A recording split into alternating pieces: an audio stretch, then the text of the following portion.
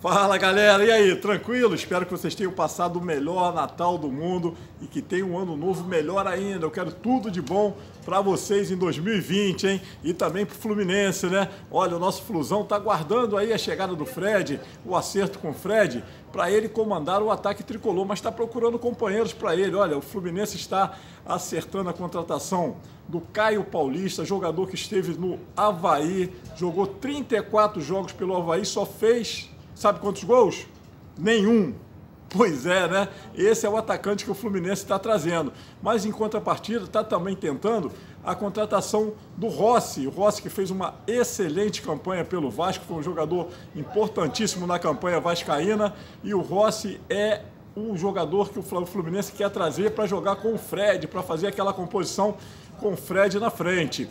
O Fluminense perdeu o João Pedro, foi embora para o Watford, perdeu o Gonzalez, que se mandou para o Benfica, e agora está tentando aí acertar o seu ataque. Fred é o cara, a referência. E está tentando trazer jogadores. O Rossi é jogador do Shenzhen Shen do, da China. E o clube chinês não está querendo emprestar, está querendo vender, mas o Fluminense não tem grana e vai tentar uma negociação para ver o que, que pode fazer. O Rossi seria um excelente jogador, né? um excelente reforço aí para o ataque tricolor, que também está tentando o Thiago Neves. Thiago Neves está arrumando problema. Sabe o que, que o Thiago Neves aprontou agora lá no Cruzeiro? Ele pediu a rescisão do contrato, ele queria rescindir o contrato dele, alegando que já está com certa idade e que não vai poder é, é, acertar com algum clube do exterior, já que a janela para transferência internacional fecha agora em janeiro. Essa janela de, essa janela de janeiro que ele está querendo.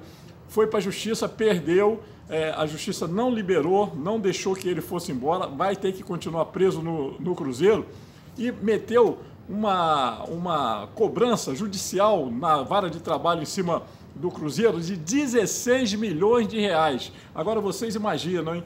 Rebaixou o time, foi um dos piores jogadores da, da campanha, perdeu aquele pênalti importantíssimo na, na contra o Havaí e agora está aí na justiça querendo 16 milhões. E o pior é que vai acabar ganhando. O jogador sempre ganha. E o clube? E quem renovou esse contrato com ele? Quem fez esse, essa, esse acerto com o Thiago Neves? Fica como? Quer dizer, o clube não está nem aí, cada vez mais afundado em dívida do Cruzeiro, e o seu Thiago Neves aí querendo 16 milhões de reais. O Fluminense anunciou hoje, né, a compra em definitivo do lateral Gilberto, Gilberto da Fiorentina, um ótimo lateral, né? A torcida tem Metade, é meia meia, né? Metade da torcida tem problemas com Gilberto, a outra metade já apoia o jogador. E o Gilberto vem, fica em definitivo com o Fluminense. O Fluminense acertou com a Fiorentina, não, não divulgou o valor do, do passe. O passe era 3 milhões e meio de dólares que a Fiorentina pediu, mas o Fluminense garante que deu muito menos, porque deixou 50% do passe do jogador com o clube italiano.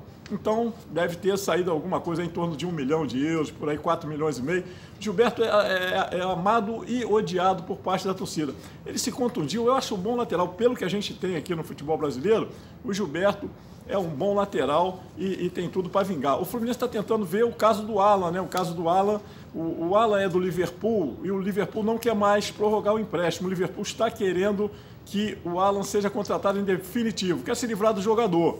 O Fluminense não tem grana para isso, está tentando uma composição com o clube inglês, vai pagar a metade do passe, quer comprar a metade do passe e deixar a outra metade do passe com o Liverpool, da mesma forma que fez com o Gilberto e a Fiorentina.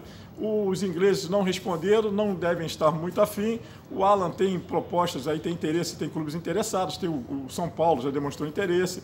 Então é um jogador né, que tem mercado. Vamos ver o que, que o Fluminense vai conseguir. E o mais complicado é o Caio Henrique, né? O Caio Henrique, o Fluminense também está tentando uma composição, está tentando ampliar o um empréstimo, mas o Valência da Espanha meteu 52 milhões na mesa é, do Atlético de Madrid e ficou muito difícil. Então, vamos ver aí como é que vai ser esse final, esse, é, esse final de ano, né? O desfecho final de 2019 para o Fluminense, que está tentando aí o Rossi, e eu digo para vocês, hein? uma ótima contratação. Eu gosto desse jogador, um jogador que deu sangue pelo Vasco, foi importantíssimo na campanha do Vasco, que saiu do rebaixamento, chegou até a Sul-Americana, trabalhou muito bem na mão do Vanderlei e tem tudo para trabalhar bem também na mão do, do, do, do Helma, né? Caso ele vá para as Laranjeiras. Tricolor, quero agradecer a vocês aí o carinho que vocês tiveram com o canal do Leão, puderam uma moral, mas abraçaram o canal do Leão e o canal do Leão abraçou o Fluminense também. Então estamos juntos aí em 2020, conto com a força de vocês, www.canaldoleão.com.br. Pô, venha, dessa essa moral pra gente aí, se inscreve, mande suas fotos, mande seu vídeo, tem no nosso WhatsApp aqui, você pode mandar seus vídeos que nós vamos publicar no cantinho da galera. Valeu? Pô, tomara que vocês tenham tido um grande Natal e estou torcendo para o ano novo muito melhor para vocês e para o Flusão. Valeu? Fui! Deu!